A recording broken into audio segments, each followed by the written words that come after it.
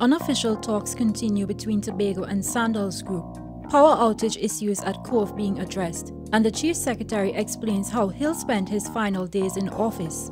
Info Update. bringing you the latest News, views, and, And reviews. reviews. along with responses comments and events affecting you. brought to you by the Information Division of the Tobago House of Assembly.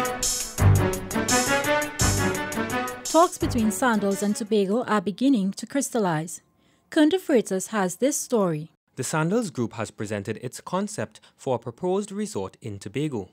Chief Secretary Orville London says there are now unofficial talks between both parties to determine the way forward. Obviously, as any negotiation, as any process, sorry, especially a process that involves large investment, a process that involves, you know, very many different sectors, and to a certain extent, where emotive issues are concerned, you, you have to, you know, hasten slowly. Mr. London says one major plus for the project is the fact that many Tobagonians across multiple sectors will benefit from opportunities for training and business expansion. They said that they even prepared to give the farmers uh, pre pre um, pre contracts, if you want to put it like that, so that they can take it to the bank, so that the bank can say, well, listen, this person has a contract with Sandals, as you say, to produce a thousand eggs per day. It's not likely all food and goods will be available to Sandals in Tobago. But Mr. London says Sandals will seek to procure as much fresh local produce as possible. I'm Kern De Freitas for Info Update. A solution has been found to Tobago's power problems.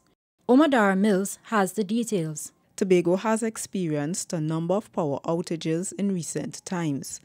The Chief Secretary Orville London says the island's power supply is being affected because it's at peak usage.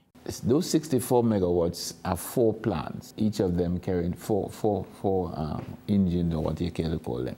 Each of them carrying 16 megawatts. If one of them is down for repairs or whatever, then you're going to have challenges in the, in the others meeting the load. The Chief Secretary says there are plans to install an additional 16 megawatt plant at the Cove Power Facility to alleviate the problem. Mr. London says tenders have already been invited for the new plant. I'm Amadara Mills for Info Update. The Chief Secretary says his remaining days in office won't be spent trying to fix everything. Caroline Wallace has more. Outgoing Chief Secretary Orville London says that, that position will be challenging for his replacement. Mr. London says before he leaves office, he will focus on making that person's transition easier.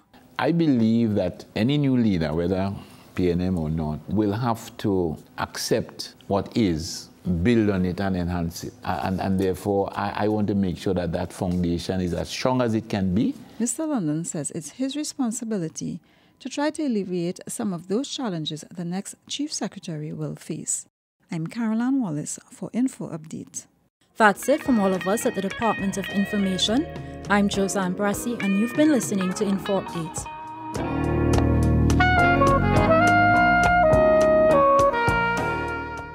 The glitz, the glamour of the 30th anniversary of the Tobago International Cycling Classic comes to Tobago for six epic days of thrills and spills as cyclists from over 25 countries converge on this gem of the Caribbean for a week of activities, festivities, and fun. The tempo will rise as cyclists confront the unforgiving terrain for the feature event, the UCI sanctioned tour of Tobago. The 2016 Tobago International Cycling Classic takes place on September 27th through October 2nd. Don't miss it. Special thanks to the event sponsors THA, TDC, Sport Company, NLCB, Caribbean Bottlers, British Airways, Caribbean Airlines, Kiss Baking Company, Holiday Foods, and Econo Car Rentals.